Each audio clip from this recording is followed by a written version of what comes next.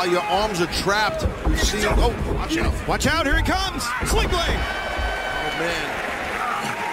Often imitated, never duplicated. They say you can beat somebody with a sling blade, but you it, it's more effective than a clothesline.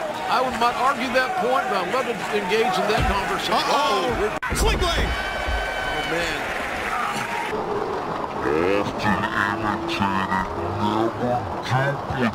They say you can beat somebody with a or. Uh-oh. Good boy. Wow.